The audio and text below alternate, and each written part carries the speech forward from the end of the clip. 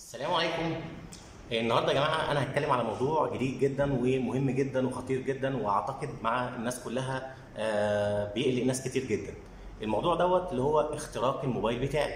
طبعا كلنا عندنا موبايلات سواء أندرويد أو آي أو إس. ففي يا جماعة حوالي 20 طريقة من خلالهم أقدر أخترق الموبايل. آه، طبعا هنتكلم مش على كل الطرق. هقولهم آه، اجمالا حوالي خمس أو ست طرق مشهورين جدا وممكن فيما بعد لو ال- الحلقة عجبتكم نقدر نتكلم عليهم بالتفصيل. آه، أول طريقة وأشهرهم آه، بيبقى عن طريق applications دي برامج بنسطبها أو بننزلها على موبايل الضحية.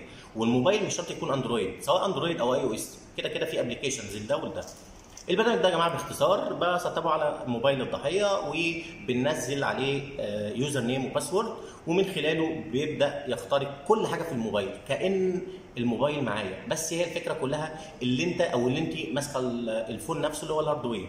طيب هيقدر يخترق إيه في الموبايل؟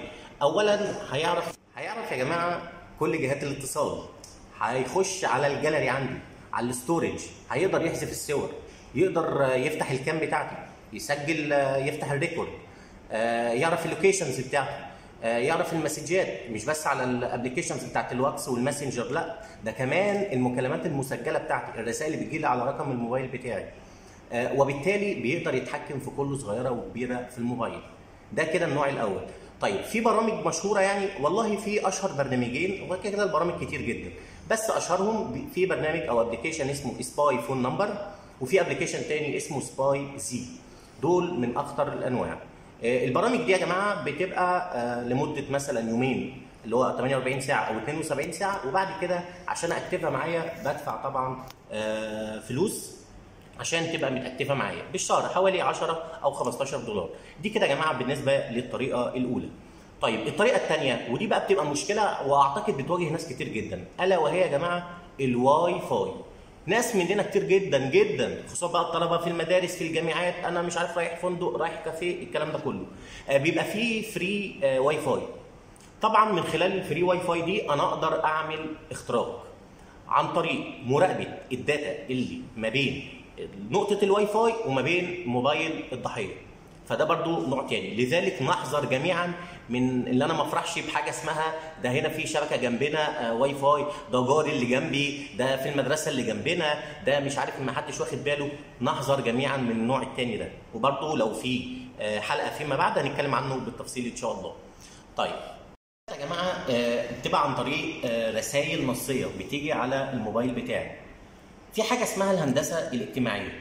الهندسة الاجتماعية دي هنبقى نتكلم عليها فيما بعد لكن تعرفها باختصار اللي هو بيقوم الهاكر أو الشخص اللي عايز يخترقني ده بجمع بيانات ومعلومات شخصية عني فمن خلال المسجز دي لو أنا تفاعلت معاها آه، ممكن مثلا يبعت لي ابعت لي آه، مثلا اللي أنت آه، محول مثلا لهجرة.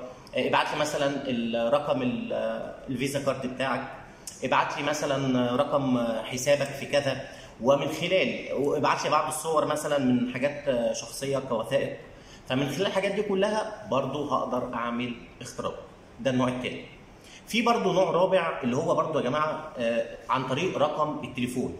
طب إزاي الكلام ده؟ يعني أنا مثلا حد يجي يبعت لي مثلا application فمن خلاله يقدر آه، يخترقني عن طريق رقم التليفون أو عن طريق مكالمة؟ لا طبعا مش كده. بس عن طريق إيه؟ ديت طبعا بيبقى نوع من أنواع الاختراق بس بيبقى صعب شوية.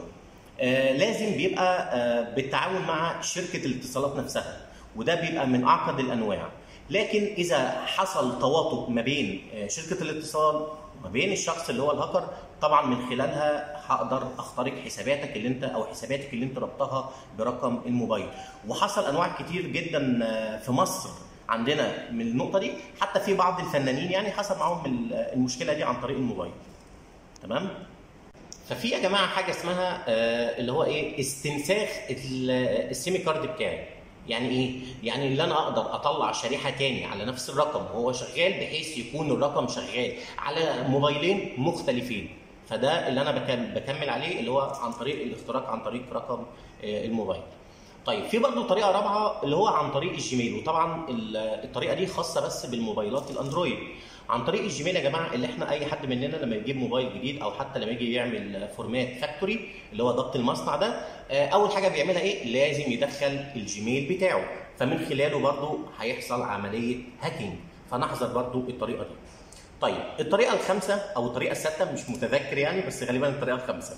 عن طريق يا جماعة الرقم التسلسلي. كل موبايل كل موبايل في العالم كله. ليه حاجة اسمها unique number الرقم ده يا جماعة غير قابل للتكرار ومميز وفريد دي اللي بتستخدمه الشركات وطبعا الجهات الأمنية في تتبع آه الموبايلات مثلا. لما أجي بقدم آه محضر مثلا أو ببقى بعمل بلاغ باللي الموبايل بتاعي ده مثلا اتسرق فده بيستخدم في التتبع. تمام؟ دي برضو من ضمن الطرق.